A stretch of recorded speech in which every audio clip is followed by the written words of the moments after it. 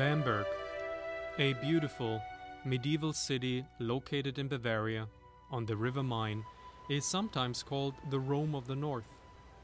In fact, for a short time during the 11th century, the city was actually the center of the so called Holy Roman Empire.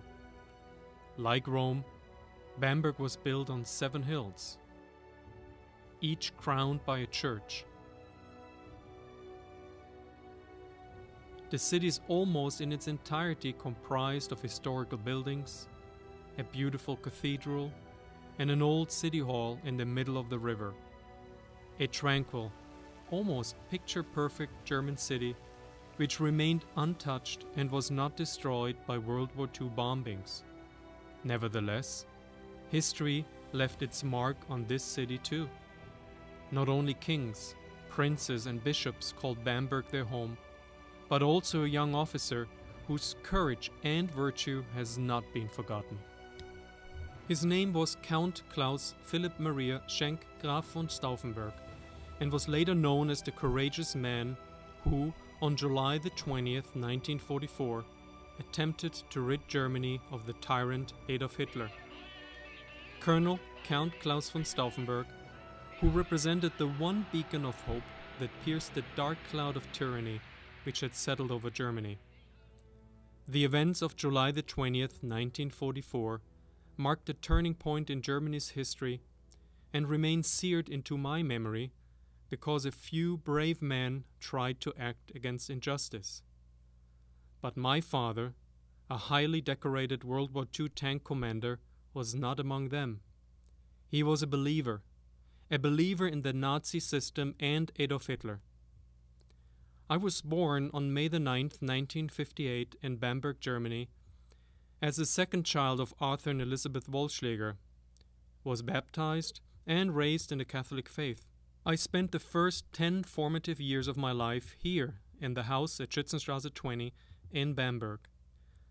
I grew up in the shadow of a father who considered himself a war hero and never missed an opportunity to tell me how Hitler personally awarded him the Knight's Cross for conquering Orel, a strategically located Russian city. I also grew up in the shadow of Count Claus von Stauffenberg, whose portrait was hanging in the hallway next to the stairway leading upstairs to his former apartment. His widow Nina was at that time living there. As a young boy, I remember asking my father once, and only once, about the man depicted in the portrait.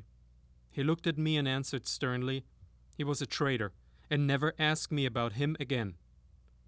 I was confused. My father and this man, Claus von Stauffenberg, looked almost the same in their German officer's uniform. Why was one a traitor and my father a hero? As a child, I did not understand the meaning or difference between them. I was afraid to ask, but curious to find out what made this man so different to my father. Little did I know that the search for answers would change my life dramatically.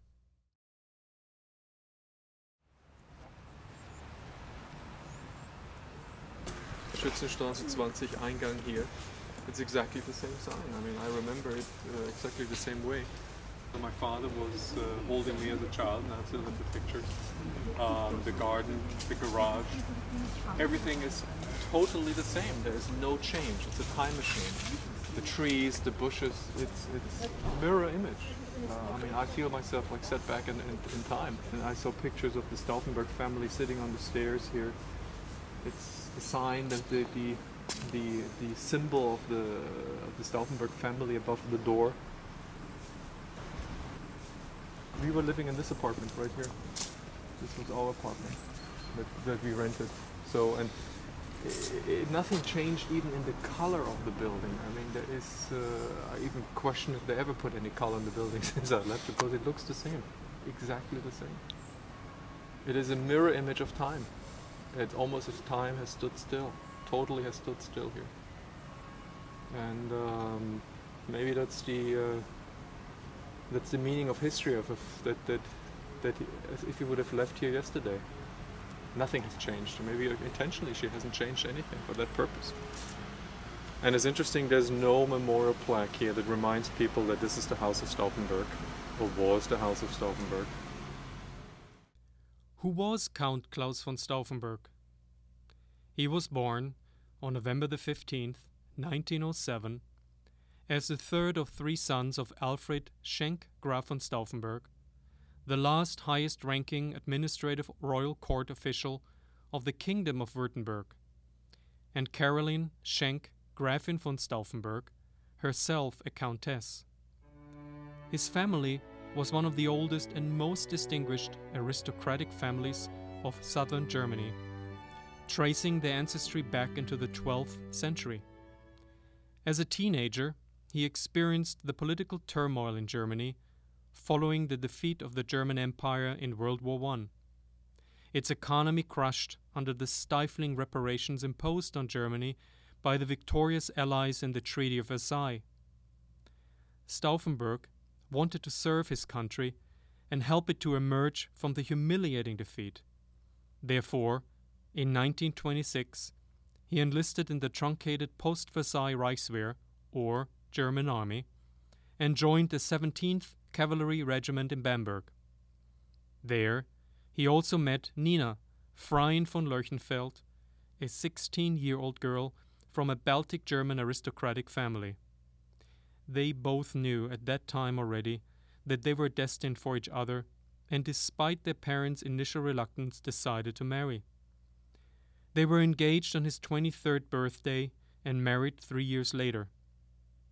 Their wedding took place on September the 26th, 1933, in St. James Catholic Church in Bamberg. Claus von Stauffenberg wore his officer's uniform and his steel helmet and replying to her question of his austere and military dress code, he answered, To wed is to be on duty. He quickly rose to the rank of a junior officer and was promoted lieutenant in 1933.